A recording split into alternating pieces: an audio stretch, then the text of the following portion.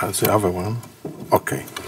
Okay, Hassan presented to you beautifully, uh, but uh, I just uh, confirmed that that uh, epiretinal membrane, if recurs, uh, it cannot cross the boundary between ILM peeled and ILM unpeeled area. This was already presented by Kwok uh, several years ago. And another example confirming that is re reproliferation of epiretinal membrane. Uh, and this reproliferation didn't appear in this triangle piece of ILM peeled area. Everywhere else, you see recurrence of epiretinal membrane in this specific case. This is important uh, for our uh, for our for for this talk. How it no, how can I move it to the next? It don't want. Ah, okay. Uh, if we talk about lamella macula hole and pseudoholes, uh, we have to uh, remember first definition by Gass, and Gass defined pseudomacular holes as spontaneous contraction of epiretinal membrane that surrounds but does not cover the foveal area. And this qualified that as vitro-retinal interface disease. Uh, and inner lamella macular holes uh, was defined as spontaneous rupture of inner wall of large uh, central cystoid space. Uh, and this was qualified as retinal capillary disease. Then uh, we received uh, some description with first OCT by Haouchine in 2004 and others. Uh, but if you go back to original Gass drawing, you see also epiretinal membrane to be present both in case of lamella macula hole and macula pseudohole.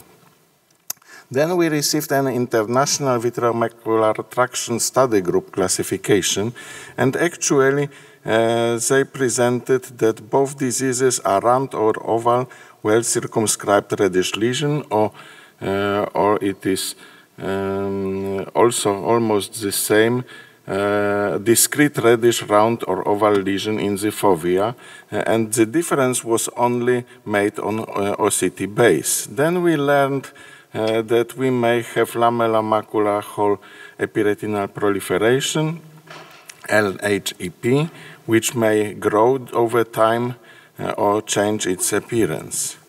Uh, for me, interest with lamella macula hole began with, in 2006 uh, when I had a patient.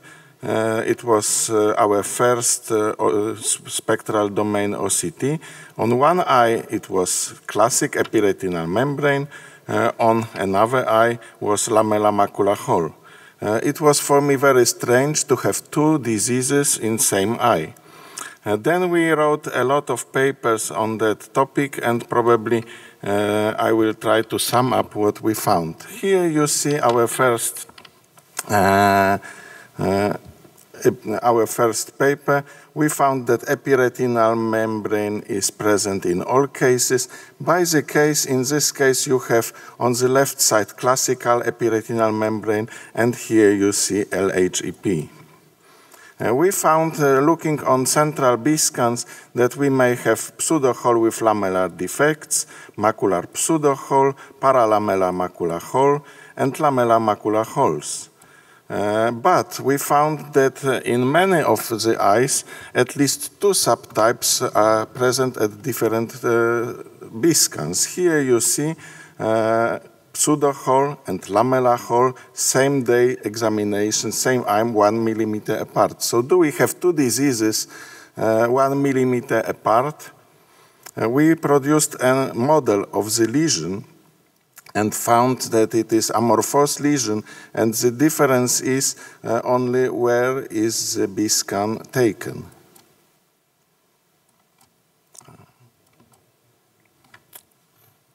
Does not want. How can I move? Uh, it moves. This is very strange with this how can I move next? Oh, okay. Uh, we, we looked in follow-up uh, several eyes, uh, uh, and we found that uh, they changed their appearance during the time course.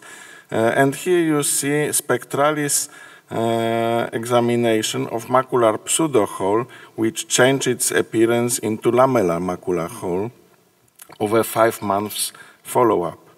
Uh, and uh, do one disease, interface diseases, moves to uh, moves to cap retina capillary disease. It is, for me, not possible. Here you see it better on this animation.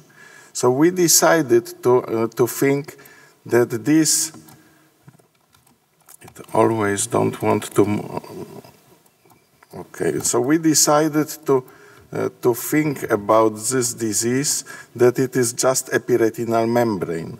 Uh, and I want to go back a little bit and decided to do surgery only uh, as, as we were doing uh, surgery for epiretinal membrane. Here you see after staining uh, it is uh, visible that epiretinal membrane and ILM is absent in the center of the fovea, around the center of the fovea. And if we try to remove uh, the epiretinal membrane uh, and ILM together, we see a hole here in the, member, in the membrane. Additionally, in next video, ah, it, it always don't want to move when I'm I have full screen videos. Okay. Now this is uh, last and now how to do my next.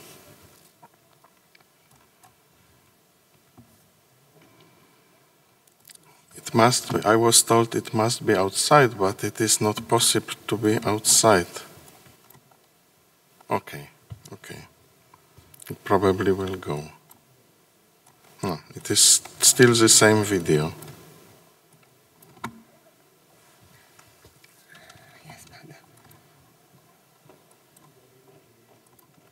Okay, this is the next one. Okay. And here you see once again a picture taken from this video and, uh, and uh, original video. And you see also a hole in the center of the membrane, which confirms that there is no ILM and no epiretinal membrane in the center of the fovea.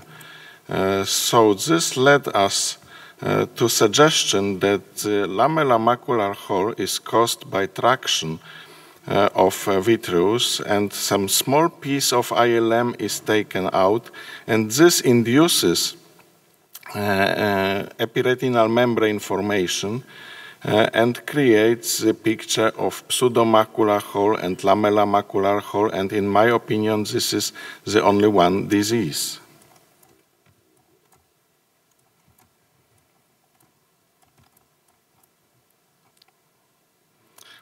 So, was the right Gass, I don't want to move to next slides in all these cases. Okay.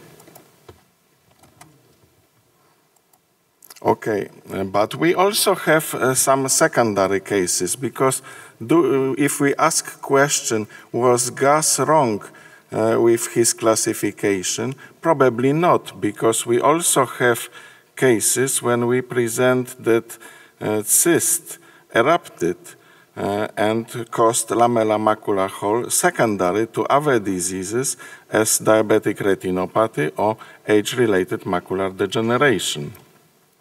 So uh, my suggestion and what we uh, strongly uh, feel and present in our papers is that idiopathic epiretinal membrane may have classical appearance or lamellar macular hole pseudohole, but we have also secondary lamellar holes which are caused by vascular diseases as Gass previously described uh, in his papers many years ago before OCT era. So in conclusions, non-full thickness macular holes, lamellar macular hole, macular pseudohole should be considered as a subtype of epiretinal membrane formation, and retinal capillary disease may lead to secondary lamellar macular hole. Thank you very much for your attention. I'm sorry for these uh, problems with computer. So you say that um, Lamellar macular hole is a subtype of epiretinal membrane, but there are few articles uh, about lamellar macular hole, recent article, right by, wrote by um, Pang, Schumann, Govetto, that demonstrated that uh, lamellar macular hole, there is an evolution during the lifetime of patients uh, with a uh, decrease of the residual foveal thickness inside into the macular hole. And um, an increase of the um, splitting of intraretinal split, uh, of uh, intraretinal, uh, uh, an increase of intraretinal splitting. And what do you think about this? Because if you consider lamellar macular hole as a epiretinal member, you uh, declared that lamellar macular hole is a stable condition. In this case, no. in this article, no. No, it is not a stable condition. I thought that I have still my slides here, but I cited those papers uh, in my presentation initially. Uh, it may, you see, traction is a dynamic process. Uh, and uh, if uh, and traction produced by epiretinal membrane may change appearance of the retina tissue. And in case of classical form of epiretinal membrane, it changes uh, uh, the structure of, of retina itself. It makes such waves or, or different appearances which, which were presented by us or by others. But in case of central defects in ILM, it may, uh, it may produce traction to all the layers and they may or if you if i if i show you uh, this is the, the, problem with videos which are which are full screen. Okay i cannot show you. Uh, when you have a, a lamellar macular hole with a, a typical epiretinal membrane if i remember well Schumann um, describe epiretinal proliferation lamellar macular hole, which is your surgical way. Do you prefer to remove completely epiretinal membrane and ILM, or do you perform uh, inverted flap? No, I never perform inverted flap. For me, is it is just epiretinal membrane, uh, and I, uh, I, I know the papers that it is a risk of iatrogenic uh, macular hole formation during surgery with LHEP, but in my feeling, we do all since about 10 years only epiretinal membrane removal and ILM removal. You must be, do your job very carefully in the center of the fovea, uh, and then you do not produce uh, uh, macular hole.